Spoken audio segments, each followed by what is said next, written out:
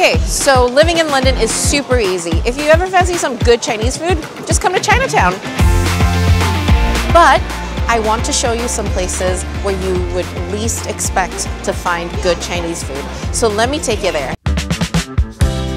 So we are at Victoria Park Market and here we have cuisine from all over the world, but we are going to go with the Asian inspired food. So we're gonna go and visit Robert and Mel at Eah Lah. Robert!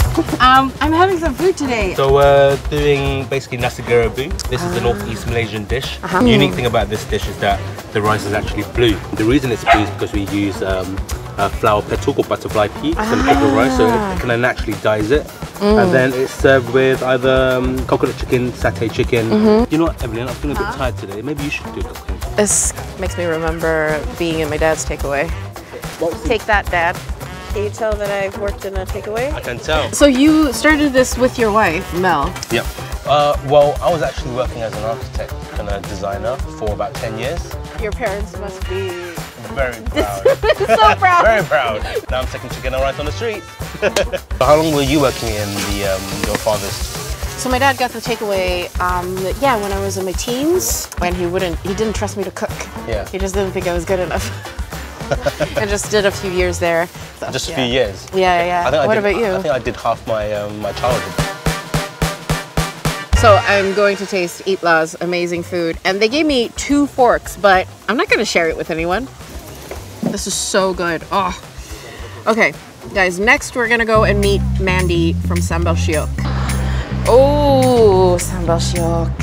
And I see all of your kind of awards and recognition. Yeah, we Great. won uh, Qing He Huang's Best Innovation uh, Award. Oh, that great. year. So, Mandy, you started out as a lawyer. I trained as a lawyer, practiced in corporate law for several years. I uh, basically burnt out as a lawyer. I was working crazy hours. Um, and I realized there was a massive gap in the market in London. I started off in street food. If somebody wants to come and start a business here, what do they have to think about?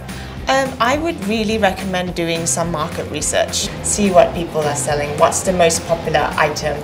And you're releasing a cookbook. My cookbook is Sambal Shiok. So it essentially catalogs all of the recipes that I've used for the business. All this talk of food is making me very hungry.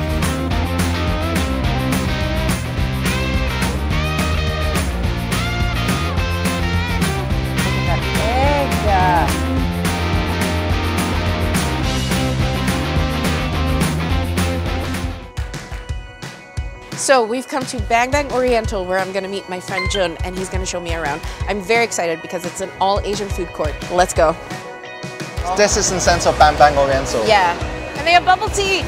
Well, one of the things that about these these food halls is that they get more and more popular. Yeah. I mean, they have Chinese food, but it's not just normal Chinese food. It's Chinese food from all over China.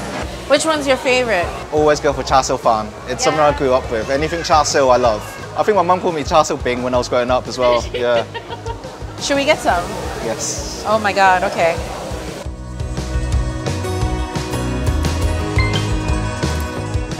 Oh wow. Yeah, I know.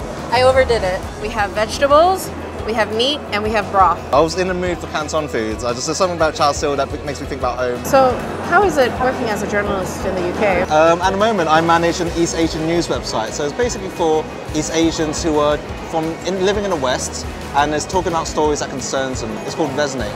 I mean, when I grew up in the UK, I don't really see Chinese faces. All the portrayals that you see of Chinese people were stereotypes. So Resonate was the way of of showing to people that we are part and fabric of UK. What's your background?